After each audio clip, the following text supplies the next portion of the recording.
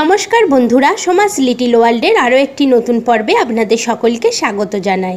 আজকের ভিডিও থেকে আমরা জানব, হিন্দু ধর্ম মতে শুধু শ্রাবণ মাসের সোমবার নয়, আরও বেশ কয়েকটি দিনে উপবাস ও ব্রত পালন করলে বাবা মহাদেব অত্যন্ত সন্তুষ্ট হন এবং ভক্তের মনোবাঞ্ছা পূরণ করেন। অন্যান্য বিশেষ দিনগুলি কি কি, সেগুলি জানব আজকের ভিডিও থেকে। এছাড়াও বাবা মহাদেবের জলাভিষেক করার জন্য কোন ধরনের পাত্র ব্যবহার করবেন? কোন দিকে মুখ করে বাবার জলাভিষেক করবেন? কীভাবে জল নিবেদন করবেন? এবং বাবা মহাদেবের পুজোয় কোন জিনিসটি কখনো ব্যবহার করবেন না? এই সমস্ত কিছুই জেনে নেব আজকের ভিডিও থেকে। মহাদেবের অত্যন্ত প্রিয় মাস হলো শ্রাবণ মাস। শিবের জলাভিষেক করা হয় শ্রাবণ মাস জুড়ে, যারা শ্রাবণ মাসের সোমবার উপবাস করে ভগবান শিবের জলাভিষেক এবং রুদ্রাভিষেক করেন, তারা মহাদেবের বিশেষ আশীর্বাদ ধন্য হন। বেশিরভাগ ক্ষেত্রে শ্রাবণ মাসের সোমবারই আমরা সবাই শিব পুজো করে থাকি এবং উপবাস করে থাকি। কিন্তু শ্রাবণ মাসে সোমবার ছাড়াও কিছু গুরুত্বপূর্ণ তিথি রয়েছে। যখন ভোলানাথের পুজো করলে তিনি খুব খুশি হন এবং ভক্তের সমস্ত দুঃখ দূর করেন। শ্রাবণ মাসে দেবাদিদেব মহাদেবের জলাভিষেকের গুরুত্ব অসীম। শিবপুরাণ অনুসারে শ্রাবণেই সমুদ্র মন্থন হয়েছিল।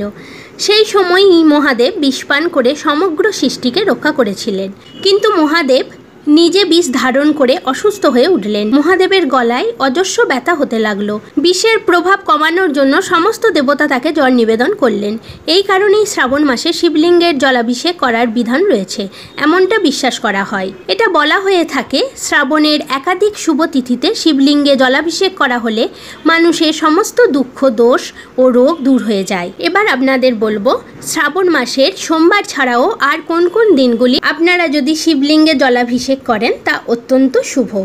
চলুন তাহলে সেই তারিখগুলি এবার জেনে নেওয়া যাক। শুক্র প্রদোষ ব্রত, যেটি পড়েছে জুলাই মাসে, ইংরাজি চোদ্দ তারিখে, শুক্রবার দিন। এই দিন শিবলিঙ্গে জলাভিষেক করা অত্যন্ত শুভ। শ্রাবণ শিবরাত্রি। ইংরাজির পনেরোই জুলাই শনিবার দিন হলো শ্রাবণ শিবরাত্রি। এই দিনও আপনারা শিবলিঙ্গে জলাভিষেক করতে পারেন। ইংরাজির তিরিশে জুলাই রবিবার রবি প্রদোষ ব্রত। এছাড়াও ইংরাজির তেরোই আগস্ট রবিবার রবি প্রদোষ ব্রত অধিকা মাস। এই দিনও আপনারা শিবলিঙ্গে জলাভিষেক করতে পারেন। নাগ পঞ্চমীর দিন, যেটি পড়েছে ইংরাজির একুশে আগস্ট, সোমবার। সোম প্রদোষ ব্রত ইংরাজির আঠাশে আগস্ট, সোমবার।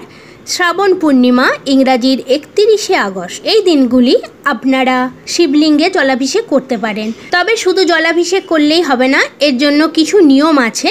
চলুন এবার সেই নিয়মগুলো জেনে নিই। শিবের জলাভিষেক করার জন্য আপনারা কোন ধরনের পাত্র ব্যবহার করবেন? শাস্ত্রে বলা আছে যে শিবলিঙ্গে জল নিবেদনের জন্য তামা, ব্রোঞ্জ বা রূপোর পাত্রই উত্তম বলে বিবেচিত হয়।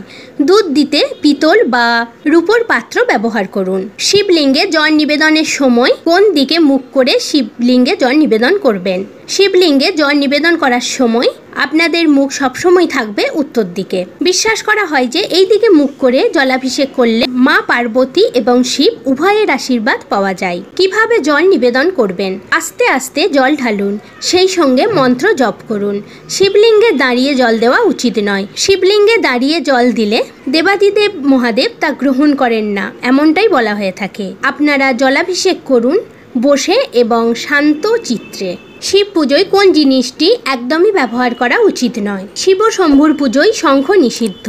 তাই শিবলিঙ্গে জল নিবেদনের জন্য শঙ্খ ব্যবহার করবেন না। শিব পুরাণ অনুসারে ভগবান শিব চন্দ্রচূড় নামে এক রাক্ষসকে হত্যা করেছিলেন। শঙ্খ একই অসুরের হাত থেকে তৈরি বলে বিশ্বাস করা হয়। তাই শিবলিঙ্গে শঙ্খ দিয়ে জল নিবেদন করা উচিত নয়।